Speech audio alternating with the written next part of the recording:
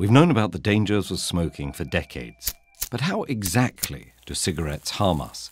With each inhalation, smoke brings its more than 5,000 chemical substances into contact with the body's tissues.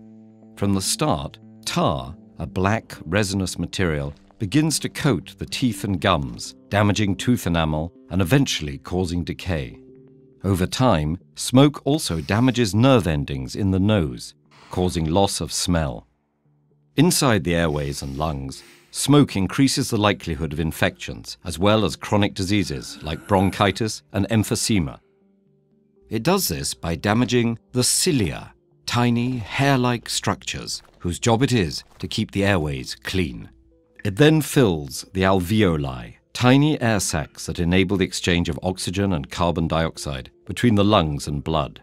Within about 10 seconds, the bloodstream carries a stimulant called nicotine to the brain, which makes smoking highly addictive. Nicotine and other chemicals from the cigarette simultaneously cause constriction of blood vessels and damage their delicate endothelial lining, restricting blood flow, increasing the likelihood that clots will form and trigger heart attacks and strokes. Many of the chemicals inside cigarettes can trigger dangerous mutations in the body's DNA that make cancers form. Additionally, ingredients like arsenic and nickel may disrupt the process of DNA repair, thus compromising the body's ability to fight many cancers. It makes it harder for women to get pregnant, and in men, it can cause erectile dysfunction.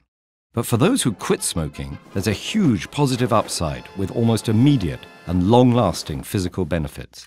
Just 20 minutes after a smoker's final cigarette, their heart rate and blood pressure begin to return to normal. After 12 hours, carbon monoxide levels stabilize, increasing the blood's oxygen carrying capacity. A day after ceasing, heart attack risk begins to decrease as blood pressure and heart rates normalize.